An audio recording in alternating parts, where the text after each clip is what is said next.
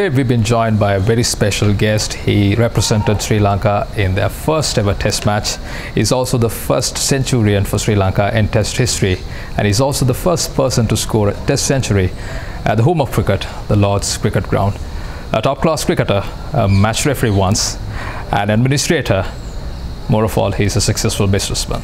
He's none other than Sidath Wettimuny. Thank you very much, Mr. Sidath, for accepting my invitation to feature on the show today. Pleasure to be here. 1999, you were made as uh, chairman of the selectors. Sri Lanka were going through a transition period. Sanath Jayasuriya was made as a captain. Uh, it was a kind of a gamble between him and Roshan Mahanama, was kind of a leader at that time. Paid off really well. Sri Lanka had a wonderful run in terms of both ODIs and uh, test matches. Uh, again in 2015, you were made as the chairman of the interim committee of Sri Lanka cricket. Mahela Jayawardene had already retired. Kumar Sangakkara has already made up his mind to retire from test cricket and one day cricket as well. What was your plan in terms of helping Sri Lanka out during the transition period after 2015? Okay, so going back to that period where I was chairing the interim committee, it was a very short period, unfortunately. It was too short. For example, the one thing that we were really keen on getting going was building those indoor facilities and a swimming pool for our players to uh, work with, uh, which had been lacking for years and years and years. To date, we don't have a proper indoor facility at uh, Khettarama as far as I know. And it was, you know, getting up. The columns are up, the foundations are ready, and we left and everything was just abandoned. And that's been the story of Sri Lanka cricket. You know, interim committees come, they do something, they try to get things going, and then they are sent home. And then there's an appointed body which carries on the same way they have carried on for donkey's years. And, and that's why we are in the situation we are in today. We have not kept pace with the changes. We have not realized that other countries are going ahead. And uh, we've just stagnated and you see the results on the cricket field. You spoke about improving the infrastructure facilities during a short period of time. From a cricketing perspective, in terms of improving the quality of cricket that we are playing at the international level, what measures that you had in your mind to kind of implement? You see, what we wanted to do was actually a pretty basic thing which is there in every other country, you know. Uh, in fact, I was so shocked. I was in Oman last year and I saw the new facility that Oman has got as an indoor facility. They have seven wickets. Our own Dulip Mendis is in charge of that and running that. Seven fabulous uh, nets with different playing conditions. And in a country like Sri Lanka, when you have so much rain, you need those facilities to get our players to practice, play, groove in their game. And if you don't have those basic things, how do you compete with other countries? It's just not possible, you know. So I don't blame the players for where we are. It's really our administration over the years that have just not bothered about what needs to be done. They've just bothered about wanting to get there. That's it. What you meant to say is that let's assume if Sri Lanka is going to tour Australia, then you would have wickets such in Australia will be prepared in Sri Lanka, so our players would be accustomed in terms of playing in those wickets, so they'll be adapting easily when they get there. Absolutely. You see, in, in Oman, I saw these wickets. You know, they have a, they have a track which they say is more like a Perth wicket. And then they have another wicket where the ball turns square. So they have different, different conditions. And mind you, these are very basic things now in any country. But Sri Lanka, we are still not ready. You can go and see, you know, I, I feel sad. If you walk into Khettarama, you will see this. It's like an old uh, neglected relic of some sort. Foundations are there, but nothing has been done. If you're saying these are basic things, and can be done and if Oman could do a test cricket playing nation as us we should be able to do those things kind of as well what is stopping I, guess it's the the petty mindedness of some people and the politicking that goes on you know the priorities are different the most important thing is you need to know your priorities when you're running our cricket today one of the most important things is to have a good first class tournament with very few teams. We don't have that. We have 24 first class teams, I am told, and that is a joke. You know, I'm not joking. I think if I practice for a week and put on my pads with some of those teams, maybe I can still score runs. That is the level of our cricket. We don't realize to compete with other countries, you got to get to that same level, and that has to be done. But nobody will have the courage, I can assure you, nobody in our current system of uh, governance will have the courage to say, I'm bringing down the first class teams to 10 or 8. Nobody will. Why? Because they'll lose the votes. They fear the voting system, and that is the crux of the matter. Till we change our constitution and this terrible voting system, which is full of politics, we will not progress, I can assure you if my math is right, 24 teams means about 260 odd players competing and you're trying to choose 11 players. It's ridiculous. It's ridiculous and we need a good four day tournament. You see, if you take just the last two games, we couldn't last five days. That's because, and I don't blame the players, they are not used to playing the four day game, the five day game. You see, you need a certain skill and a level of patience, a, a know-how which can take you through to five days. And some of our guys just don't have that. They don't have the patience, they don't have the technique. Even without the technique, if you have played a lot of four day cricket, good cricket, then you will adapt and you know play the game the way you should. But our guys can't. So, whom do you blame? I just blame the administration which we have had, not the interim committees, because the interim committees have not had a chance to do anything. You know, you, I've been in, believe it or not, eight interim committees, eight interim committees since 2000. And every time we try to do something, every time we try to implement something, you can be assured as soon as we leave, that is completely broken down. So that's the state of our cricket. Uh, you spoke about the constitution. Now, in 2015, when we were chairing the interim committee, you almost came close to implementing a new constitution. You prepared a concept paper, Prime Minister was involved, and the sports minister was supportive of that initiative. But somewhere around the corner, something fell apart. What happened actually? That was really sad. Actually, correction, the sports minister was not supportive. Uh, he didn't do anything about it. The prime minister was supportive. Uh, the ICC was supportive. The ICC actually informed the Prime Minister that they are happy for us to continue and change the constitution, that they will help us in any way, technical or whatever, and we were told to go ahead and do the change. But don't ask me what happened. Uh, didn't materialize. Uh, can you briefly explain what were the contents of that concept paper? Yeah, you see, one of the main things was there was governance, like a nine member board, not 22 members or. What we had was a nine member board which had professionals in it, you know, a professional finance guy, a legal guy, three cricketers, I think, three test cricketers were in that. I'm just giving you a rough outline. But we brought the voter uh, numbers down from 147 to 50 odd. I really think it should be brought down even lower. But that was only a concept paper. And then there was there were checks and balances. There was a governing body which was there to uh, either approve or disprove any expenditure over a certain level. So that there was a check and balance, you know, and in that committee also there were professionals. We needed a professional CEO to run the thing, and uh, it was very good. I, you know, I've sent it to the ICC guys. They were happy with it, and uh, we could have developed that a lot further and come up with something which was good for our country. Um, as you know, other countries have uh, very few votes to pick the board. We in Sri Lanka have 147 with 22 million people. And India, 1.3 billion people, 46 votes. 46 votes. And even they have been told to try and reduce it to 30. Uh, I think Australia has six or seven, New Zealand five, South Africa eight. So it's ridiculous, you know, but I've been talking this for years and years and years.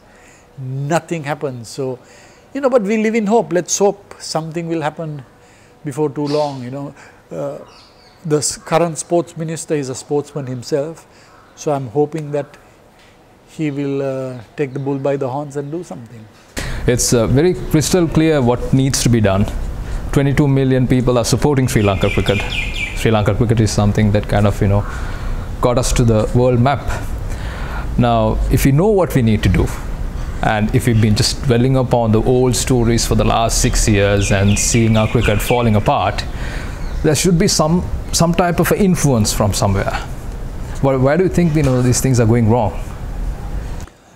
As I said, it's the system we have got used to. You see, the guys who are there are very familiar and very comfortable with this voting system. You know, I'll give you a solid example, which to me is a joke. There are clubs that don't play cricket at all, but they have the same number of votes as say an SSC and CCCs.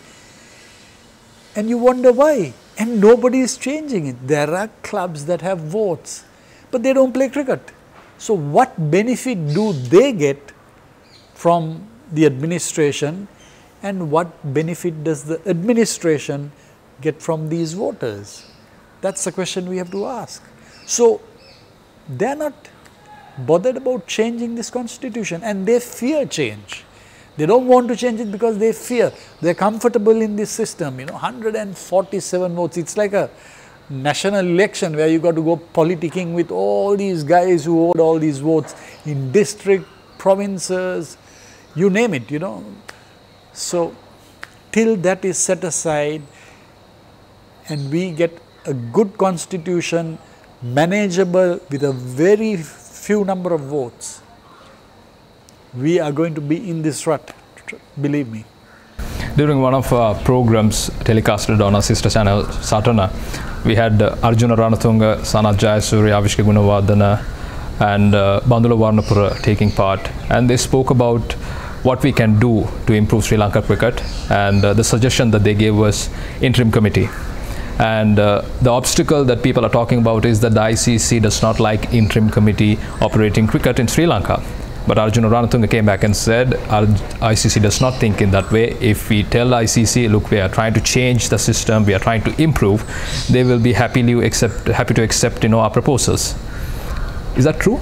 Absolutely. Well, when I was the chairman of the interim committee, they wrote and said, let the interim committee continue make the changes and they gave us a time period, you know, I can't remember, six months or one year. And they said they will support us in any way we want. So it's wrong. What is not good is just to have interim committees as a stopgap to um, sort out things and then give it back uh, to the uh, board that is elected. And that has not helped us because we have all been in interim committees and you come, you do something, you save money, you try and improve things and as soon as you go back to square one, they'll dismantle everything you've did. Like, you know, there is solid proof, you should go to Khettarama and film it. That's what you can see, how disruptive and destructive people can be of what you do for the sake of the game. Now, you spoke about the financial aspect of the game. Now, when you took over the job as the chairman of the interim committee in 2015, there were two overdrafts, I believe, 200 million rupees and another 7 million US dollars with the Bank of Ceylon, if I'm not mistaken. And uh, when you left the job in December 31st, I believe, in 2015, there was a surplus of 100 million. 100 or 200 million, if I can remember right. Yeah. Yeah, you know, it was nothing, nothing special. You know, it was just being sensible, cutting down costs, trying to save whatever we could, and cutting out the waste. And as an interim committee, we don't need to waste money doling out money to clubs and supporters and provinces and districts. You don't, you don't need to do all that. You spend money where you need to spend. So that was easy. That was easy. But what I'm so sad about is a, we had a great opportunity to get our indoor facility and pool ready for our cricketers, which would have been so useful over the years. Two was when the ICC gave us a chance to make the change, we didn't take it. we wouldn't have waited for about six years to see everything falling apart had we made that change in 2015, right? Absolutely. And even now, I, I think it's you just need to make the right decisions and you can turn this around, you know, because the one good thing is we yet have talent. We have youngsters coming through who are good players, you know, give them the right opportunity and nurture them through the formative years correctly and we will start producing some very good players, I believe. Based on the topic of the concept paper that you produced in 2015, my understanding is that the main focal point of the constitution that needs to be changed is to reduce the number of votes so you get good people managing cricket in Sri Lanka. That is the most important thing, I believe. Absolutely. People who will not worry about whether they're going to win an election or whether they're going to lose. Right now, we need somebody who will make the call and say, look, this is the cricket we need to play. And till we do that, I'll tell you, we're going to struggle. And every year, other countries like Bangladesh, even Ireland, all those guys are getting ahead, getting ahead. They're moving ahead. And it's so sad. It's just a sad state of affairs. Going back to the point that you made about Oman cricket, they have seven different types of pitches. Uh, based on your understanding, I put myself into the shoes of a fan, Sri Lankan fan. I'm asking how much does it cost for us to prepare a wicket which is similar in Australia? Not a lot, you know. You we have good wickets at Khettarama, which again I was involved when we did that. Uh, we had a whole lot of wickets, about 14 wickets, and the idea was to have different sort of wickets depending on which country we were going to play. All that can be done, you know, what it needs is the right thinking, the right thinking and the right planning. But this indoor facility you could use year round. You could do your training there, you could bring in teams, junior teams, uh, and expose them to different conditions. And just the other day, I think I saw a facility now in the USA, uh, an indoor facility looks absolutely stunning. But what has Sri Lanka got? What can we show as even one decent indoor facility? None. None. And there's no shortage in terms of money that we have as well? Absolutely not. It wasn't going to cost a fortune, you know. Uh, let's talk about uh, the pre-test cricket era now. Uh, you were you played in the first ever test match that Sri Lanka ever played against England. Uh, the greats of the pre-test era, Anura Tennakoon, people like Michael Tissera, current generation uh, do not know about them basically. Uh, the recent thing that I can recall is about the Sir Garfield Sobers and Michael Tissera trophy, which has been played between Sri Lanka and West Indies. Sri Lanka is going to tour West Indies. You were 26 when you made your debut for Sri Lanka in 1982. What are your memories about them? Can you kind of reminisce what type of players these guys are? The players like Michael Tissera and Anura oh, Michael and Anura were fantastic players. They were ambassadors to the game. Um, Michael Tissera, you know, he was my idol. I, I just thought he carried himself perfectly, you know, absolute gentleman lovely to play with or against. He was a fantastic cricketer, bold and battered. He was the most underrated uh, leg spinner I thought uh, we had. He was a very, very useful leg spinner, lovely batsman, and they would have done wonders. Anura Tennakoon would have been a run machine. You know, he was just phenomenal as a batsman, absolutely phenomenal. He was like a wall. Once he got in, you couldn't get him out. And I'll tell you, he would have done well in any era all of them would have done. And we are just talking about two players. There were so many super players in that pre-test era. You know, uh, I was I was lucky. I played half my cricket in the pre-test era from 77 to 81 and then after. But there were so many who were very unfortunate, you know. My elder brother was unfortunate, Sunil, another lovely player. so many, you know, just unbelievable. Um, we had fantastic bowlers like Tony Opatha, Ajit De Silva. They played mainly in the pre-test era. So, fantastic players they were. Uh, talking about 1981, back again, Sri Lanka gained test status. Uh, an instrumental figure was uh, the president of Sri Lanka uh, back in the days, Board of Control for Cricket in Sri Lanka, Gamini Dissanayake. I was not born when Sri Lanka gained Test status, but I when I search about it, I see that uh, video of uh, Mr. late Gamini Dissanayake coming down to Sri Lanka after gaining Test status. It was a wonderful moment for as Sri Lankans. Uh, can you briefly explain about the contribution that he made towards Sri Lanka gaining Test status? Yeah, um, you know that that period I still remember, and it was a very special period. Uh, one person who was obviously very very uh, instrumental was Mr. Gamini Dissanayake, but the other person who who is, in my opinion, an unsung hero was Mr. Rajamahendran, who was the vice president. You see, Mr. Rajamahendran, I think, employed maybe over 120 test cricketers, and I was one. I started my working life uh, in 1976 77 with the Maharaj organization, and I was sent to England by him uh, just to play cricket. And I wasn't the only person who benefited by that. So many cricketers came through that uh, process of mercantile cricket, and he was the giant in uh, promoting uh, mercantile cricket. Combine him with Mr. Gamini Dissanayake, you know, they were a fantastic um, president and vice president to get us where we got to. And I'll never forget, we were in Yorkshire playing uh, Yorkshire, I think, at the Grosvenor House when we were first told that we've got uh, test status. And we were just overjoyed, you know, because at that time, our dream was maybe just to say, play a test match, you know, play a test match, nothing else, play a test match. That was what we aspired to. Uh, and uh, Mr. Gamini Dissanayake and uh, Rajamahendran were the prime, prime movers in getting us that. And uh, I think, you know, we, we don't recognize it enough. We don't recognize it enough. One lasting memory of uh, that combination, Mr. Late Gamini Dissanayake and Mr. Rajamahendran, about them involving in getting Sri Lanka to that level.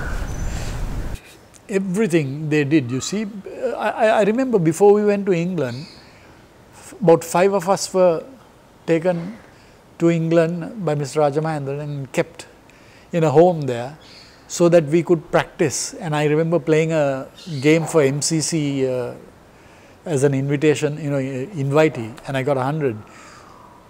We had that kind of support when the board at that time just could not afford to spend money on uh, our cricket. We just didn't have it. So it was their personal time and effort that um, gave us all the support, you know. And I think we had uh, Mr. Ted Dexter who came and spoke to us a couple of times, and and then we had a coach called Don Smith who the board had taken as an uh, as a coach during our tour. So all that was done in a very difficult period, but with great sacrifice. And uh, hats off to the late Gamini Dissanayake and Mr. Rajamahendran. Uh, you spoke about uh, Mr. Rajamahendran took helped five players to go to England and practice. Who are the five players? Yourself? If I can remember right, it was Ranjan, me, Roshan, um, Ashanta. I, I, can't remember. It was five of us anyway, and, and it was fantastic because we went to Lords. We we were practicing in the indoor facility there, and then I remember we were given this practice game where they invited us to play for um, so, you know, all that was done because they had that great love for the game. You know, it was a sacrifice on their part, not what we see in uh, today where people get to these places where they want to gain something by it. So, there was huge sacrifice on their part. In 1984, before uh, when you toured England, when you were about to play a test match at Lords, Ted Dexter, a former England batsman, had played about 60 matches, averages 47. He was being appointed as a professional advisor, and uh, Mr. Rajamahendran had played a pivotal role in terms of making that particular appointment. What type of knowledge did you gain prior to playing your first match in England? Having guys like that talk to you, encourage you, makes a huge difference, you know, because you go there as somebody who is very new in the game, new in Test cricket, and you go to the mecca of cricket and you are under uh, pressure, you know, you feel the pressure when you walk into that huge uh, institution, you feel the pressure. So, these guys helped you to cope and ha- handle the situation the best you can. I've seen on a previous interview that you have spoken. Uh, Mr. Late Gamini Dissanayake had given a speech in 1984 at the historic Lord's Cricket Grounds. Yes, that was just an unforgettable speech. I always said, you know, that inspired us um, to walk in there next day feeling feeling good.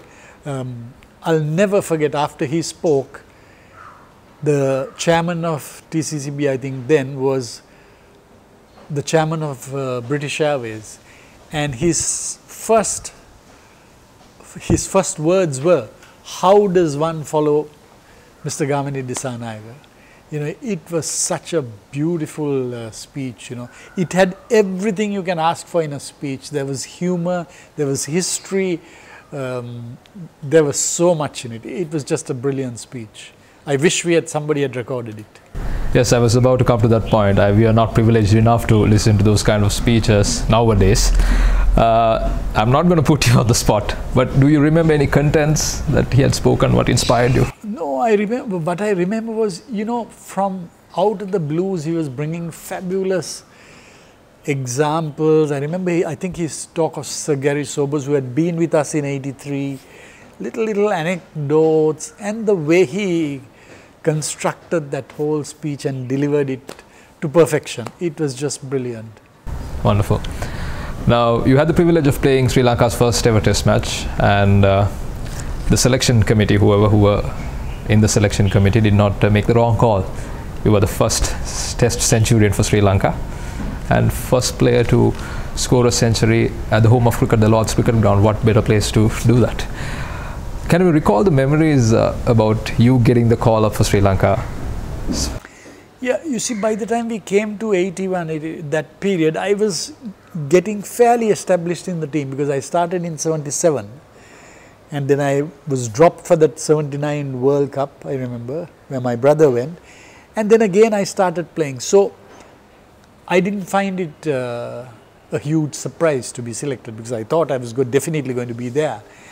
But playing the first test match was uh, an experience, you know, because you've never played five days of cricket. And, and I remember, um, I think they, somebody told me that they had this strategy when we went into bat, and we were on top, I think, for three days. When we went into bat, we found the field was unusual.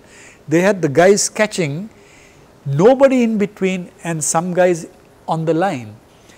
And I still can't, can't recall who said this, but they said their strategy was these guys are either going to block or hit. They won't have the capacity to work the ones and twos because their mindset will be different.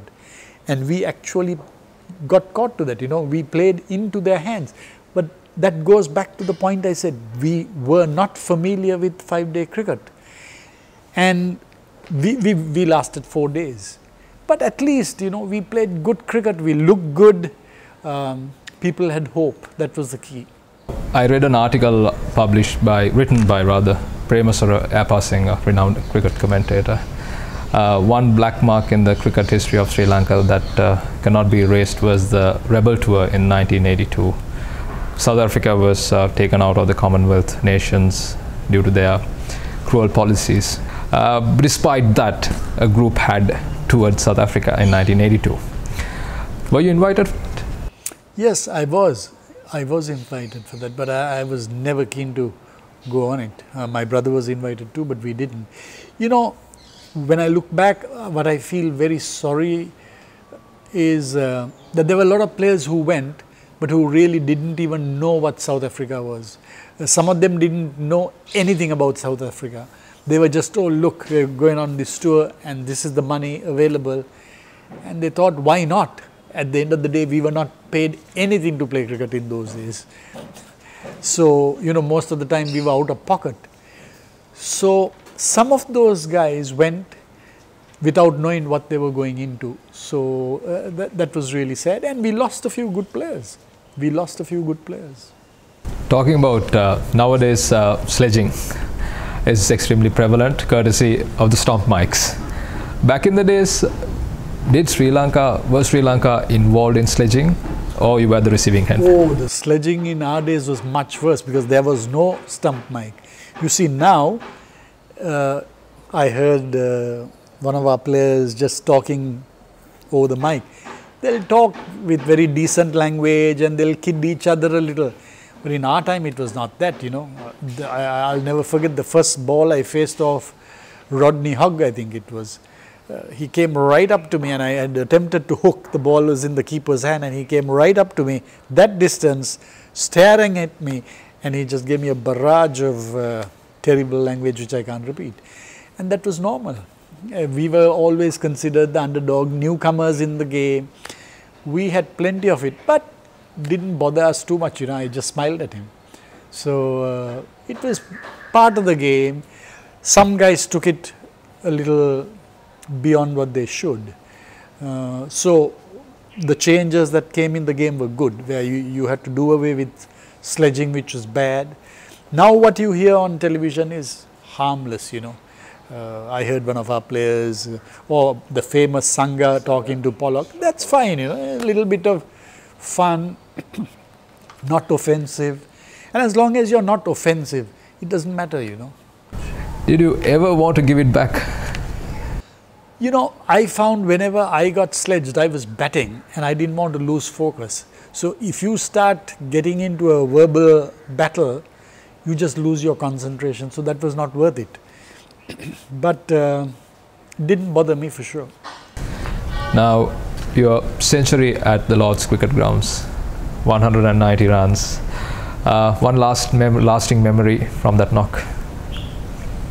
I've heard about uh, the protests that took place, uh, and you kind of it helped you to cool your mind down so you could concentrate. Yes, yes, Anything apart from was, that? That was certainly useful. Did help me to calm my nerves.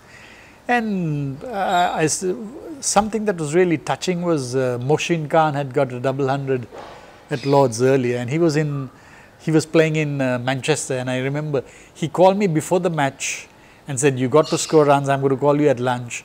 He's called me at every break and kept talking to me, which was lovely. You know, coming from a Pakistani uh, friend, uh, that was lovely. And I had a friend of mine who had sent me a card. I better not mention his name and uh, it said, uh, you know, relax, this is just only a game of cricket. And that helped me to relax. So, of course, I had a good tour, that tour before the, uh, the test match. I had a very good build up. So, I was fairly confident, but you know, you have the nerves when you go to, and we were very unfortunate in our time because we had a lot of these one off games which don't help because you play one match and if you do badly in that match, your whole tour has been bad. Uh, and there were a lot of players who would have had that problem. You know, they did, they did well, but didn't do well in that particular match. So that was something that brought upon a lot of stress to players because you, you go on something and you say, okay, you got one test match, you got to do something. And in that time, in our early years, we had a lot of those sort of short, short tours. At this point of time, the players have been pressurized through the social media. Each and every one who has a social media account is a critic whenever who does uh, whenever a player who whenever a player does not perform well. Uh, back in the days, I would say newspapers, and obviously you would have had the same kind of pressure as well. How did you kind of overcome those obstacles? Know what went in the newspapers never bothered us, and I must say people were generally pretty decent about things. And this social media wasn't there so we didn't have the I feel sorry for the current players because they have to go through a lot of these issues. We didn't have that. You know, we just had the newspapers uh, reporting and they were very decent about it most of the time. You know okay they may be critical of how we played but that was okay. Is it right players using social media at a tough time like this, obviously seeing those you know nasty articles written about you, the memes and everything, it puts you down? You know, I honestly wouldn't know because I'm not on any of those things. Uh, so I wouldn't know. But I guess if there are good things being said, it's it's good. But when things go bad, it must be not that Obviously great. Keep thinking about it and Possibly, yeah, yeah, yeah. And, and, you need to have the players focusing on their game and not thinking too much about that kind of thing. One final question, Mr. Sidath, is that uh, you spoke about priorities. What should be Sri Lanka cricket's priority in terms of improving the game that we love? Uh, if I ask you to name maybe three or five things, what should we be looking at in terms of improving Sri Lanka cricket? What would you name? Simple. First and foremost is change the constitution. Completely revamp the board with a new constitution, a more professionalized body running cricket.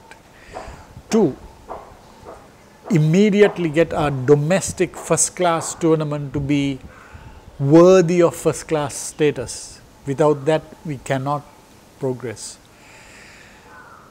I think if you do those two, the rest will fall into place. You know, the rest will fall into place. But changing the constitution and revamping our board completely, only, uh, you know, it has to come from the top. Uh, there couldn't be any better person than the current sports minister, Honorable Namal Rajapaksa, to do this because he got the support of the Prime Minister, so to the President. Absolutely. And one other advantage, even above those, because I have spoken to him uh, at a meeting, he has himself been a, uh, a national sportsman, you know, he, he's been a sportsman at the top. He knows what it is because I remember uh, in one discussion, we were talking about votes for provinces and he said something very useful which opened my eyes, which is, he said, why do we give every province the same number of votes when Colombo, I think he was referring to rugby, when Colombo and Kandy have most of the clubs. So why give others all these votes when they're doing nothing? And I think it applies to cricket too. So yes, there's a good chance that he can do something. I guess the only person who could make a change in the Sri Lanka cricket at this point of time is Honorable Sports Minister Namal Rajapaksa. So that's what the expectation of the country to see cricket grow as a sport in Sri Lanka. Thank you very much, Mr. Sidath, for accepting my invitation to feature on the show. It was an indeed insightful uh, interview. Thank you very much once again. Thanks.